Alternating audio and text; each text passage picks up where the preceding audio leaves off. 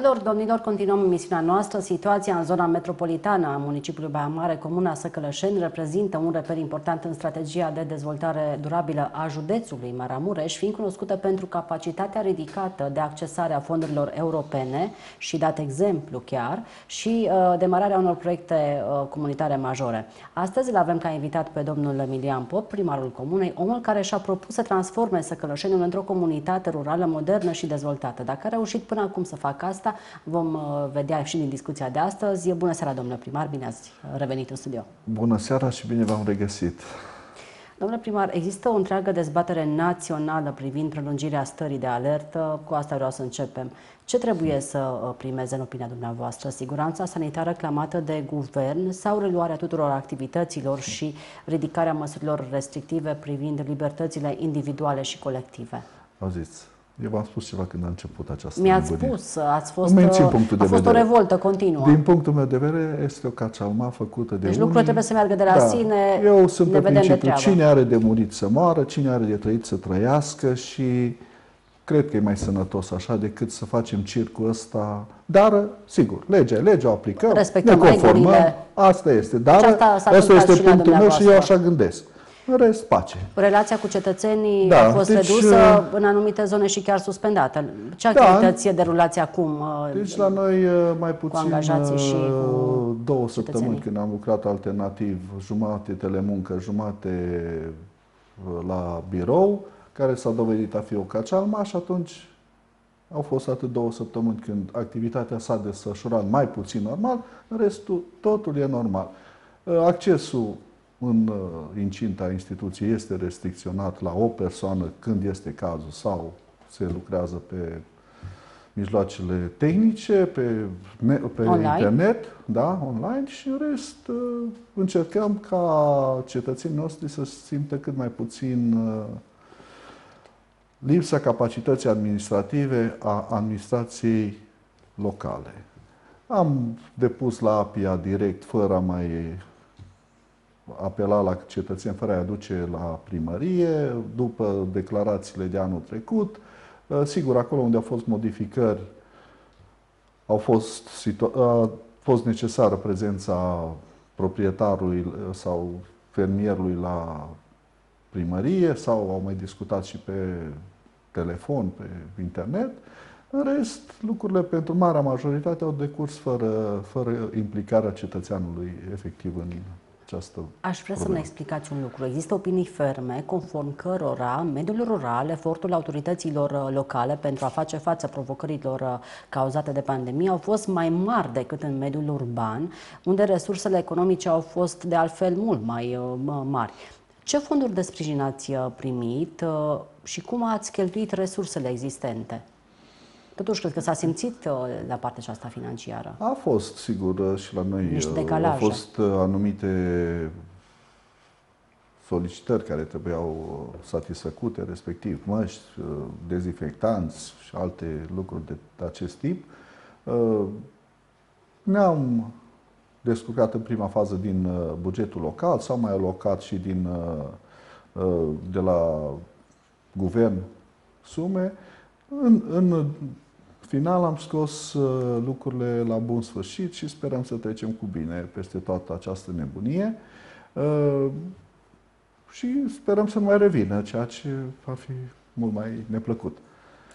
În majoritatea comunelor maramureșene, în perioada epidemiei COVID-19, au continuat lucrările la proiectele aflate în uh, derulare și așa să ne spuneți, uh, legat de mai multe obiective. Uh, știm că aveți de executat în continuare stadionul comunal Săcălășeni, în vederea semnării contractului de lucrări, o să le iau pe rând.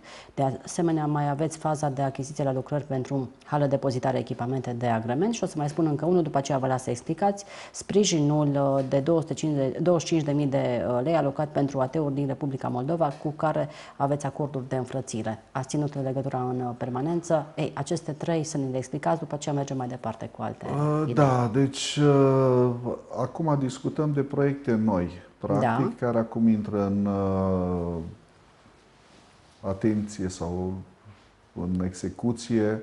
Deci uh, să le luăm pe rând. Uh, finalizare lucrări stadionul comunal Săcălășeni. Este o lucrare începută în 2009, conservată din lipsă de fonduri și acum din uh, bugetul local am alocat sumă pentru a finaliza partea de vestiare și a face ceva frumos în acea zonă, mai ales că... Deci îl veți termina? Da, deci nu promit un termen, dar uh, oricum până, până în toamnă, în iarnă, vom intra cu lucrările finalizate, recepționate și Am tot ce înseamnă. Uh, este o investiție undeva de aproape 100.000 de euro. Uh, cum vă spuneam, din bugetul local și chiar era necesară lucrare de atât timp care arăta destul de neplăcut, mai ales că este chiar în zona unde noi urmează să dezvoltăm comuna noastră din toate punctele de vedere și zona de interes și, arti, uh, și uh, din punct de vedere turistic și nu numai.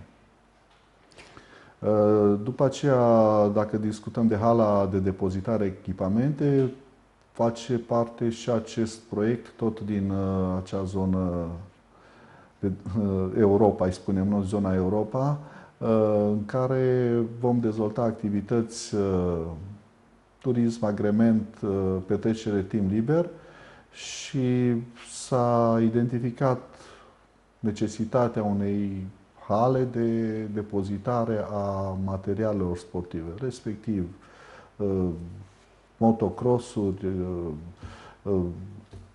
aparate de zbor deltaplane, de ce nu avioane mici și alte uh, de asta, motocrossuri și diferite, uh, diferite mijloace de transport sportive, ca să spun așa, care uh, pentru a nu fi transportate din diferite zone, da, fiecare cu zona lui și într-un mod elegant și mai ales, că, afară. mai ales că zona dumneavoastră s-a dezvoltat foarte mult și mulți uh, din orașul Baia Mare s-au îndreptat înspre uh, Comuna Săcălășeni. Da, și... și încă mai este loc. Uh, mai ales că în zona noastră sau zona noastră a pus la dispoziție o suprafață importantă de teren uh, pentru dezvoltarea activităților de petrecerea timpului liber. Că e agrement, că e turism, că e uh, uh, sport, uh, și în acest context am uh, identificat o serie de lucruri care intenționăm să le dezvoltăm pe resurse proprii în scopul de a atrage și a crește valoarea zonei pentru cei care vin. Și atractivitatea, sigur că da. Uh, de asemenea, s-au locat uh, bani, da, să-mi să spuneți de uh, Republica Moldova, da, da, de deci, colaborare. Deci, cu Republica Moldova avem uh, două înfrățiri care funcționează în condiții cel, uh, relații bune și conservate și continuate de-a lungul timpului. Este vorba de orașul Ghindești și comuna Ghindești, uh, pentru care în ultimii ani am încercat, indiferent de vremurile prin care am trecut, să găsim o modalitate de a sprijini financiar, sigur că până la urmă asta este sprijinul, că în rest facem orice, orice ajutor culturale. se întoarce la un moment dat. Uh, Dacă este, este bine așa. a face bine ca idee. Apoi că ești persoană fizică, că ești familie, că ești națiune, că ești unitate administrativă, a face bine în general nu poate fi rău.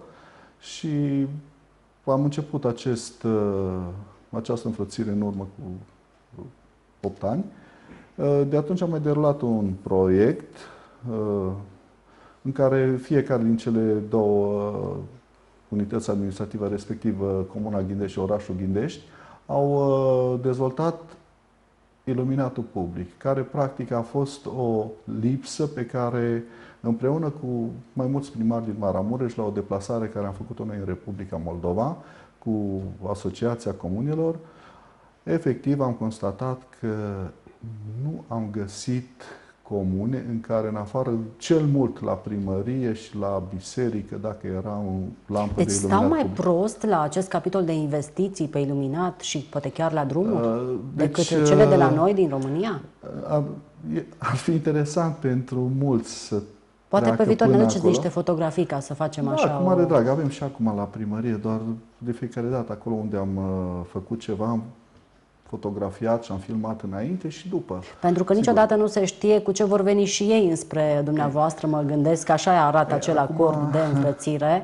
Uh, e greu să așteptăm din partea dânșilor sprijin financiar, dar... Nu la asta mă refeream, alte uh, oportunități dar sunt multe de colaborare. lucruri pe care le-am găsit mult mai, mult mai bine uh, puse la punct în Republica Moldova și e suficient să vă spun că pentru o localitate din Moldova, fie ea de câteva, două, 300 de locuitori, lucrul cel mai important este grădinița. Ori acolo grădinița funcționează de la ora 7 dimineața până la ora 5 după masă, pe tot parcursul anului, de la 1 ianuarie până la 31 decembrie. Nu există pauză, nu există vacanță, uh, copiii sunt la grădiniță. Este un lucru care, să știți, la noi în Maramureș putem număra pe degetele de la o mână câte comune își permit acest lucru.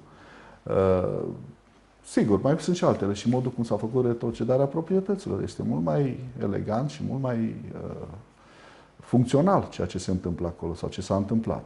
Sigur, contextul este puțin diferit, ei au avut mai mult uh, colhoz decât noi, dar cu toate acestea sunt lucruri care putem să le luăm și, și de acolo și sigur este legătura de sânge care este uh,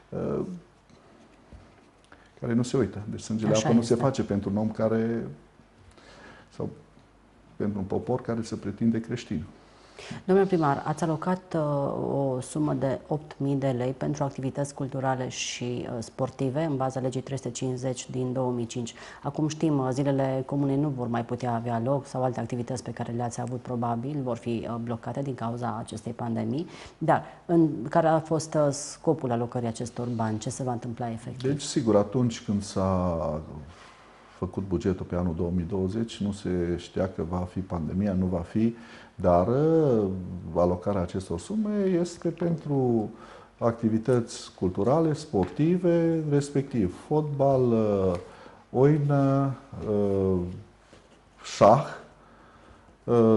și dansuri populare. Avem două trupe de dansuri. Acum e perioada de depunere până pe sfârșitul acestei luni și în funcție de proiectele depuse o să încercăm această lum, uh, sumă de 8.000 de, uh, 8.000 de lei să o alocăm în condiții cât mai rotnice pentru colectivitatea Pentru că activitatea noastră. sportivă a fost oprită peste uh, tot. Da, dar se pare că vor începe probabil fără spectatori în prima fază sau asta rămâne de văzut. Dar, sigur, trebuie avut în vedere că nu o să ne blocăm pentru totdeauna la a mai juca fotbal pe Corect. stadion. Dar spre deosebire de viața economică și socială din mediul uh, urban, la sate au continuat activitățile agricole. În contextul restricțiilor de circulație care au avut uh, loc, de unde s-au aprovizionat fermierii cu semințe, îngrășăminte și alte uh, materiale necesare efectuării lucrărilor agricole și dacă au rămas terenuri nelucrate, că acum știți mai bine decât noi, parțial pandemia, sau total. Pandemia asta a prins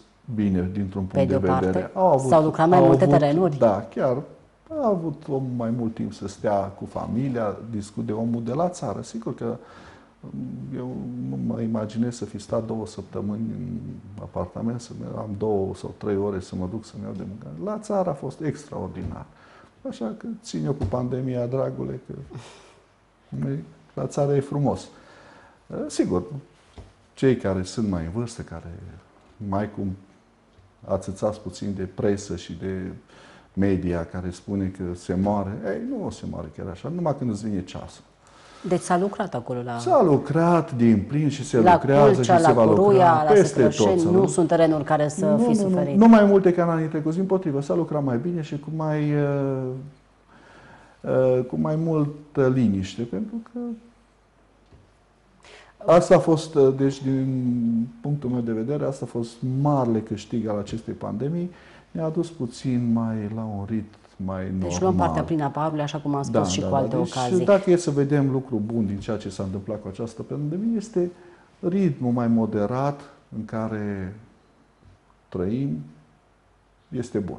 Față de ce se întâmpla până în decembrie trecut. Domnul primar, școlile sunt uh, închise, doar uh, pregătirile acelea pentru examene, dar așa aici cum uh, cântec. Cum v-ați implicat dumneavoastră și echipa primăriei și chiar Consiliul Local pentru a sprijini performanțele elevilor din comună? Pentru că acolo ați avut, dumneavoastră, mai multe nemulțumiri de Ei, numărată. Auziți, nemulțumirea mea este că învățământul e praf în România.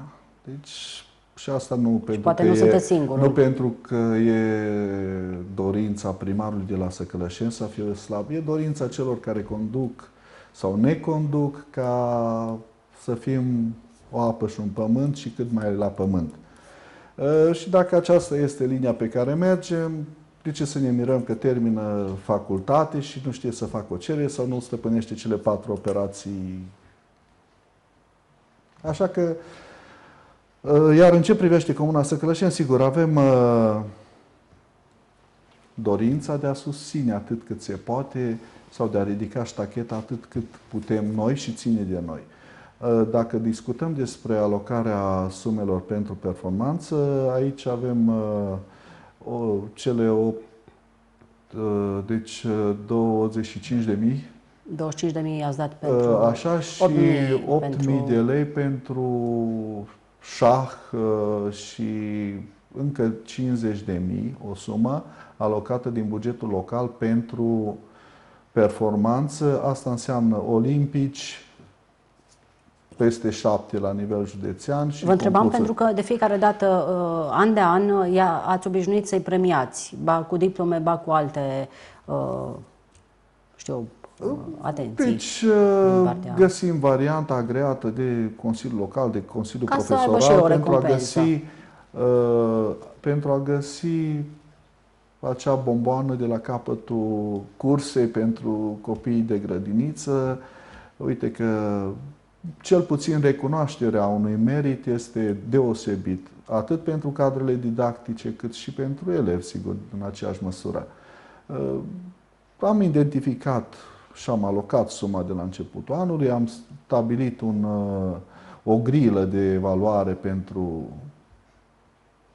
rezultatele care se obțin și în măsura în care meritele vor fi evidente, avem uh, disponibilă această sumă pentru a, a face bucurie celor care s-au implicat mai mult în uh, procesul de instruirea elevilor și chiar și elevilor care s-au implicat. Am avut rezultate deosebite la șah, deși am început relativ uh, uh, târziu, abia din acest an s-a început activitatea de șah și deja au, au uh, câștigat, avem un număr de copii care, uh, șapte copii care au participat la un concurs Uh, regional, unde fiecare uh, nu s-a luat niciun loc uh, mai mic decât trei. Deci toți cei care au participat au fost, au fost la categoria lui de vârstă pe primele trei locuri.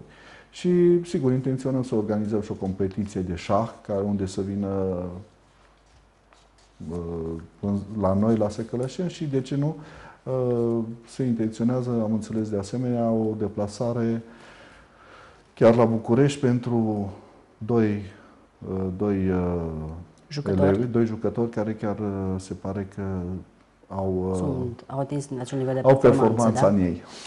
Domnule primar, ne preocupă și problema drumurilor, ne preocupă și alte proiecte de care spuneam aflate în derulare și vrem să știm dacă aveți asigurate sursele de finanțare necesare și ce se mai întâmplă cu căminul din Săcălășeni. Deci căminul din Săcălășeni este lucrare nouă, uh, ridicată la nivelul parter. Cred că, uh, deci s-a început, uh, chiar s-a început turnarea La Săcălășeni ați mai rămas Da, este singura cultural, localitate nu? din comună care nu aveam un cămin cultural Dar cam în cât timp ați reușit în celelalte, așa, în timp? Un an, doi, păi, trei? 2006-2007 Coruia, în 2007-2008 uh, Culcea. Și acum, sigur, să Călășeni a rămas puțin uh, mai departe, pentru că atunci când s-au făcut căminele la Săcălășeni s-a făcut o sală de sport. Și a, sigur, nevoile în 2004 erau altele, acum sigur putem să să împărțim darurile oarecum mai, uh, ușor pentru că nevoile sunt sau nevoile de primă urgență sunt oarecum rezolvate. Ce înseamnă utilități, tot ce înseamnă drumuri, apă, canalizare, gaz, la drumuri sunt, mai aveți uh, Mai avem, lucrat? nu putem spune că am finalizat. Suntem undeva la 80-85% din rețeaua de drumuri din Intravilan. Am lucrat și pe rețeaua din Extravilan. Dar Cele încă... care le-ați realizat uh, s-au stricat uh, sau au rezistat? Nu am avut încă au fost intervenții. Sunt, ar fi, s-ar putea interveni pe câteva drumuri comunale care am început prin 2005-6, aducerea canal, capacilor de canalizare la cota, mai ar fi lucrări de întreținere, dar uh, probabil anul, în anii viitor vor fi abordate și acestea.